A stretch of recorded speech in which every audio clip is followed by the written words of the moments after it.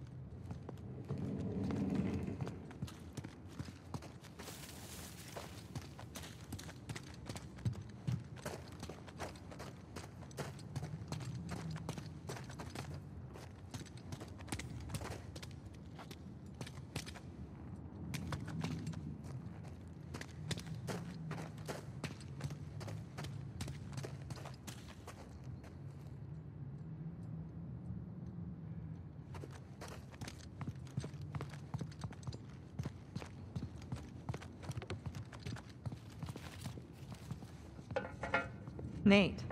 Yeah. Did you find something? I think so.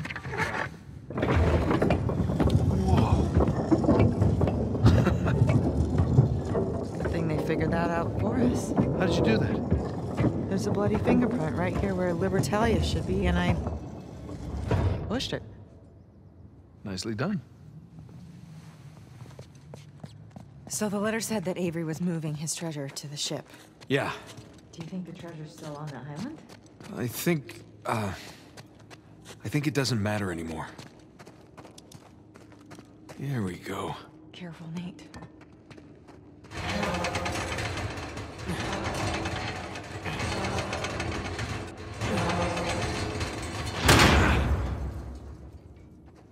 Hit watch your head. Yeah.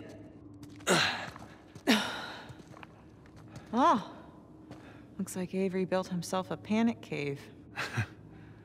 Yeah, I wonder where this goes. Crap. Guess we're gonna find out. This place doesn't look very